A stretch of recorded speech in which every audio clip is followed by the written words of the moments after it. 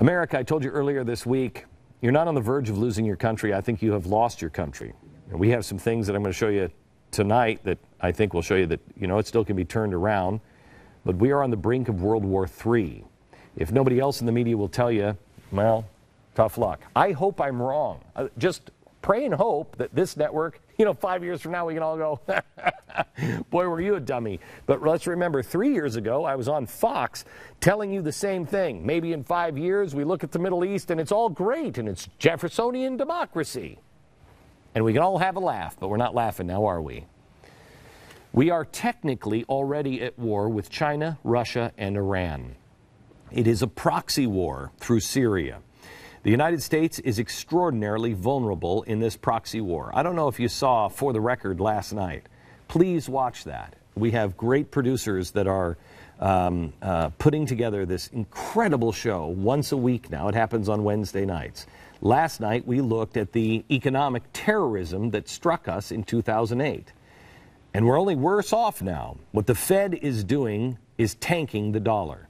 Instead of stopping quantitative easing, which is printing, digitizing money, they've unexpectedly, not so much if you understand evil, unexpectedly kept it going. It's unsustainable to continue to print or digitize $1 trillion in cash every year. And any talk of recovery is a joke. This is all smoke and mirrors. If you can't reduce it by $5 billion a month, we don't have an economy. And we're in a lose lose scenario. If you stop printing money, the house of cards falls down, and the IMF has said, you destroy the whole world, so the whole world is angry at us. Two, if you continue printing money, you eventually collapse, and the whole world is mad at you, and we're all poor.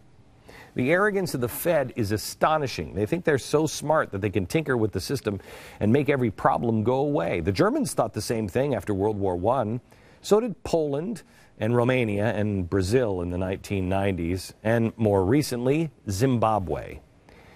Just because we're in the United States of America doesn't make us immune to hyperinflation.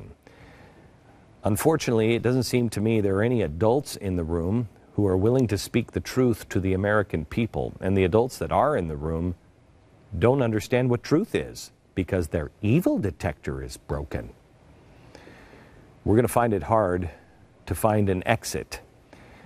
I know I um, get made fun of for, you know, advising people to prepare, but, uh, you know, I, I don't know how you can survey the news every day and not see any other possible solution other than buckle up get ready.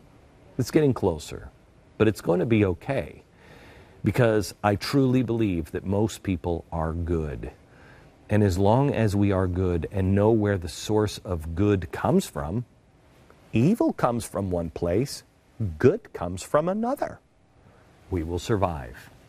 So it's important that we build ourselves up tell each other the truth of what's really going on, but then also find the stories where people are doing the right thing and figure out what it is that makes these people special. Why are they making a difference? From the six regular people who started the Colorado recall effort to the bikers who started a Facebook page which led to thousands of bikers descending on DC, to the 19 year old kid who confronted a thief at Dairy Queen that I'm going to tell you about a little later talked to this kid earlier today, to the mom who turned in her 18 year old son after she learned that he robbed an 85 year old vet. Rough waters are on the horizon. We have to realize that these things are coming. But we've seen them before and we've survived. But we prepared, not just temporally, but spiritually as well. Focus on being a better person than you were today. Keep making a difference focus on God. Because all the so called leaders are focusing on things like being pen pals with dictators because they think they're going to solve it. Trust me in this one. Only God will solve these problems.